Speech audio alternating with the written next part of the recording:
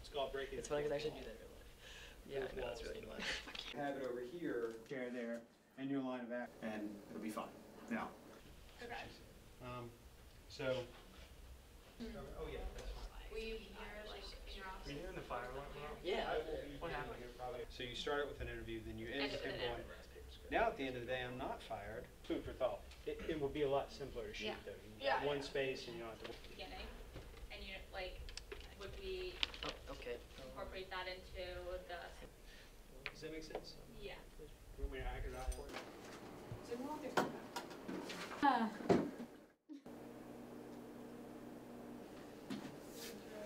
Count like two seconds and walk in. Okay. Hold my Do phone. I just run through it once without, before we film it? Like, ready? Scene one, take one. The hardest part of the shoot that I thought at first was going to be the lighting, but Professor Piercy came and helped us, thankfully. So now is just remembering the um, shot descriptions. Like, I don't know how to say medium shot. I think it's called like a half body shot or something, um, or the opposite. So then we're gonna do, as he sits, we'll do a half body shot, or what, what, what's Medium shot. I do not think that they were prepared. I don't think that they were prepared. Like, I don't understand what's going on.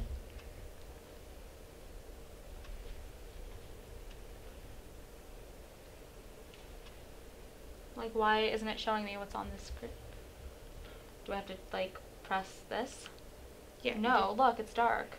Okay, we'll go back to when you see the screen. Yeah. How do I see the screen? I don't know. Oh. Show this. Yeah. Like this.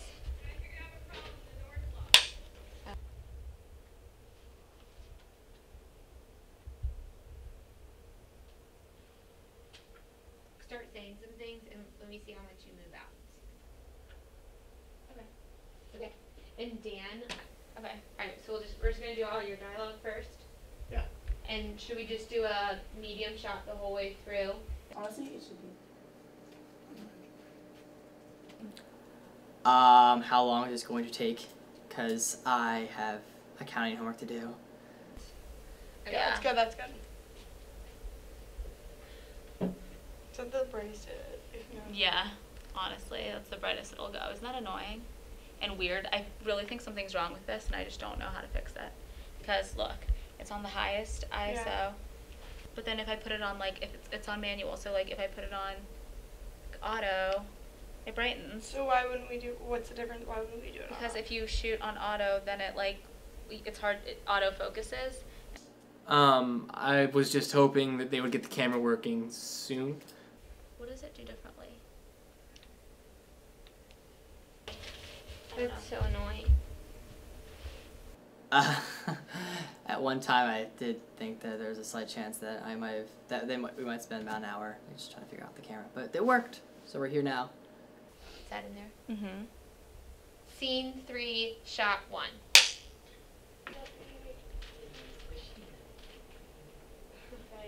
Um, I'm most anxious about uh, just pressing the right buttons on the sound on the recording machine for sound. It's the Zoom H4 and it's kind of complicated. There are a lot of different buttons and last time we filmed, um, we had or I had like a couple problems um, with the device just because um, instead of pressing like a different button every time we shot a, a scene, there is apparently a button that you can press and it just records for the entire time you're shooting. So hopefully I'll improve on that in our last shoot. Just Oh. so we can maintain. There. Sorry. Sorry, not to. No, it's okay. Um, and then maybe not scripted. Yes. Hold on, I have to turn this thing on. See, it gets weird when I click this, Fucking your secretary. but it doesn't stay that way. Alright, can you? I've Been lacking. I mean, a, a couple of months ago there was that one hiccup. Really? What did you eat this morning? Your breath?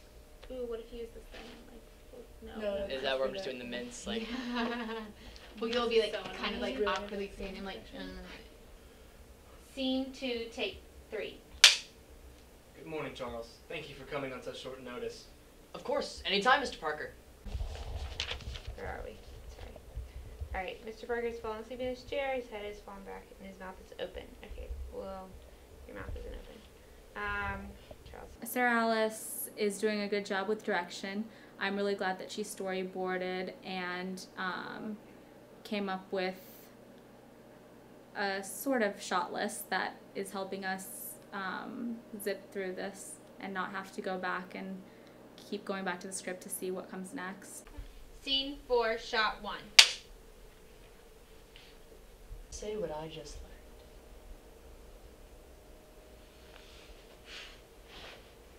Fine.